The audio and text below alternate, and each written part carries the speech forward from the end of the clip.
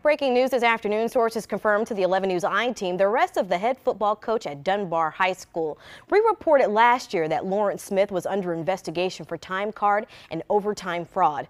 We don't know yet the charges that he's specifically facing, but Smith also works at the school as a police officer.